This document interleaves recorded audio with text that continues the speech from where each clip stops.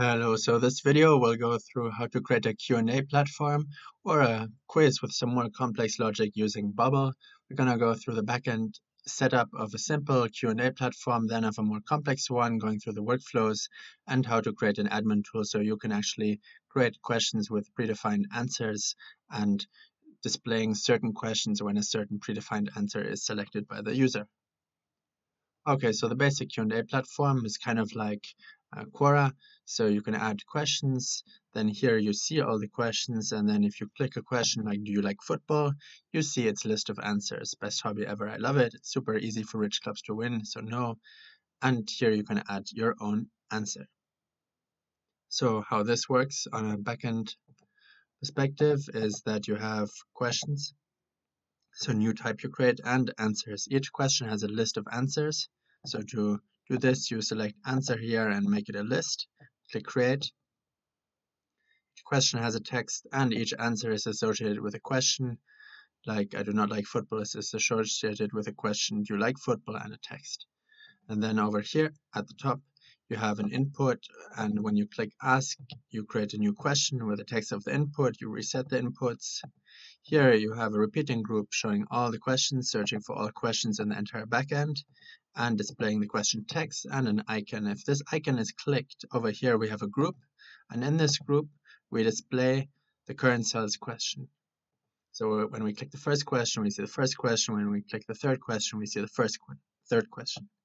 And in this group type questions, we have a repeating group type answer showing parent group's questions list of answers, so all answers of that question.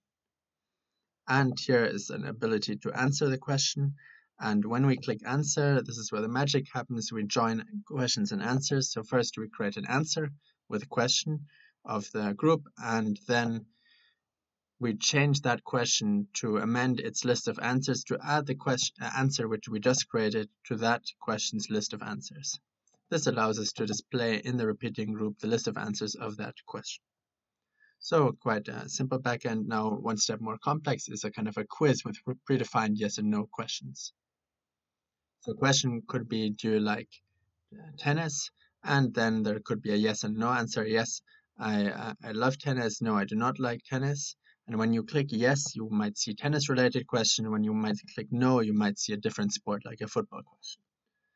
So the backend setup for this is that each question has a no is answer and a yes is answer. So underneath question, we have a no is answer type no is answer and a yes is answer type yes is answer.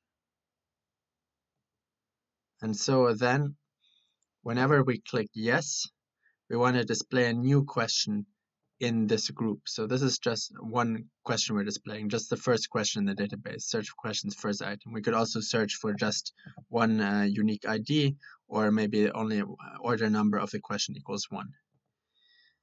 And when we click yes, we want to see the follow-up question of that yes answer. And when we click no, we want to see the follow-up question of the no answer. So to do this in the database, each no answer has a next question type question attached to it, similar which each yes answer also has a next question attached to it.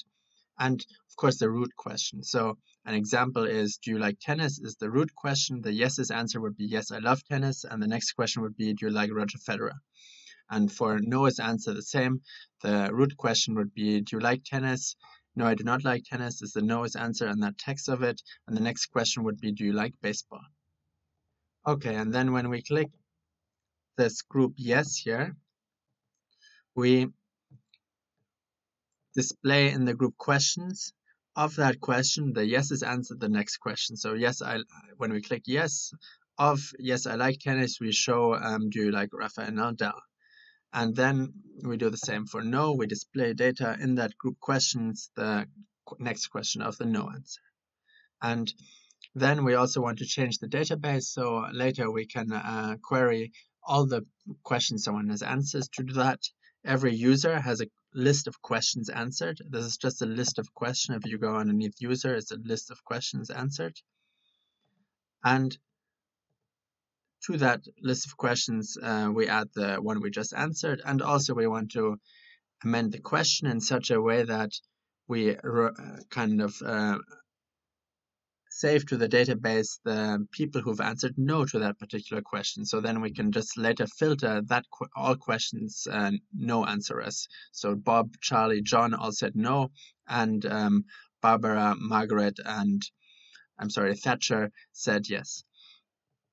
And so we've done this now. So when we click yes, we save the question uh, to the current user's question. Should We display the next question and we add the current user to the list of yes answers. So this is the first part of the logic. Then as an admin, you need uh, more logic because you have to actually create all the questions and link all the yes and no questions to another. So the first part is we have three inputs, one for the question, yes, uh, do you like tennis?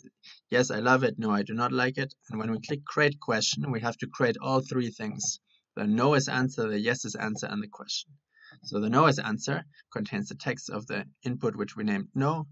The yes is answer, the input named yes, and the question, the text of the input named question. And here we also join the no is answers, no, I do not like um, tennis, to the question, do you like tennis? And the yes is answer, which we created here, also we join it to the question. And the no is answer, we give it the root question. So, no, I do not like uh, tennis is actually linked to the root question, do you like tennis? Same with the yes answer.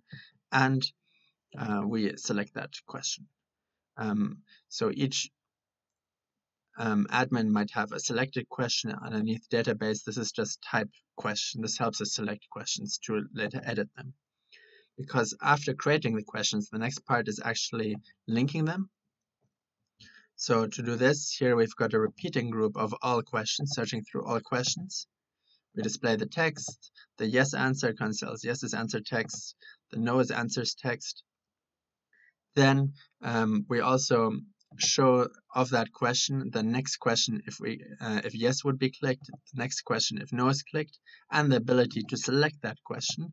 So to just save it to the user selected questions and then also to select as the next question for yes. So if for example um, the question would be um, I don't know do you like baseball? This um, we might want to actually have of the question we selected of the yes i do like baseball then i want to kind of as the admin choose that the next question if someone answers yes i like baseball would be do you like the yankees? as for instance.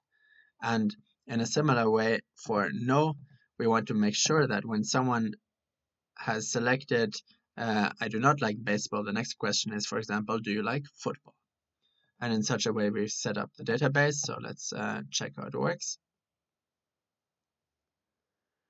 So, do you like football? Um, no, football is boring. Do you like tennis? Yes, great sport. Uh, 40, love it. And do you like Rafael Nadal? No, that guy must be on steroids. Do you like Roger, Roger Federer? No, too old, he should stop. So if I click no, too old, he should stop, currently it shows nothing. So I'm going to create a new question which links this up. New question is, do you like uh, uh, Djokovic? Djokovic instead? Question mark. Uh, yes, I, I, love Serbs. Um, no, he uh, plays unfairly. And I create this question by clicking the button. And now I have to link the question. So I've selected you like Djokovic, but actually I first want to select the Federer question by searching all questions, selecting the Federer question. So now I'm selecting the next question for do you like Federer? And then Djokovic. Um, so when I click for the Roger Federer question, when I say no for Federer, I want the Djokovic question to come up. So I click select as next question for no. And then I click refresh. And here, do you like football? Uh, no football is boring. Do you like tennis? Yes. Do you like Rafael Nadal? Um, no. Do you like Roger Federer? No. And here I come up with a new Djokovic question I've just created. What's also quite nice is here you can see a count of all questions answered and all questions I've answered with no. To do this, you can actually have the current user's question answered the count because as you remember, whenever we click yes or no, this was saved to the current user's question answers And then all the no answers, they were also saved in a different way. They were all a part of the no question. So to do this, current users question answers. So every question actually has a no as answer, right? Do you like uh, football has a no, I do not. Do you like tennis? No, I do not. So we can't just count that. So we have to instead filter it using an advanced filter and checking all no answers only for those where actually the root question, do you like tennis, the list of no answers of that question contains the user because that way we actually know the user answered no to the question. Because if we check and then we count it, because if we check this workflow here, we amended the question and uh, do like tennis and the list of no answers have that user in them. And so therefore we can do this. And yeah, this uh, basically shows the basic setup for creating such a quiz platform. Hope it helps. Um, just want to also make one more thing clear. We've al always got the current user here, also in some of the workflows, make changes to user. But actually, if you look in my database underneath user, so the no is answers and the questions are all uh, occupied. But um, currently, there are no users in this app. But still I was able to fill the app. This is as Bubble, if no one is logged in, the current user can still add things, but uh, actually um, it will just be saved in the cookies uh, of that uh, person. So that's how things can be uh, stored between steps, but things will still be created. So if that person deleted his cookies, the answers and questions will still be there.